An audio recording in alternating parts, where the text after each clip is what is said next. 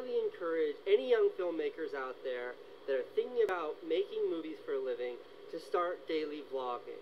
And that doesn't mean like doing a daily video about what you did that day or a journal. It just means constantly making new content. Make something new every day, no matter what.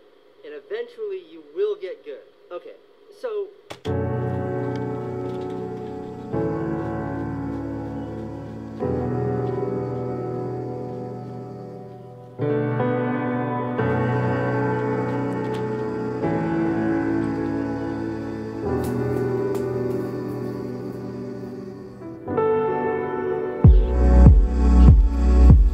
So I think I'm going to take Casey's advice. I'm going to start making daily content on this channel starting from today.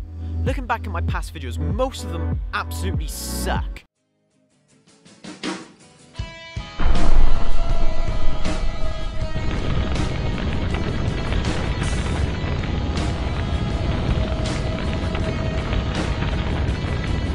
They're not at the level which I want them to be.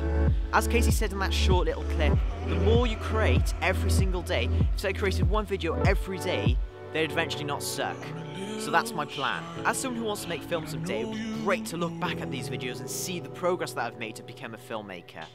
So today I'm proud to say that I'm a daily vlogger and I really hope you stay along for the ride.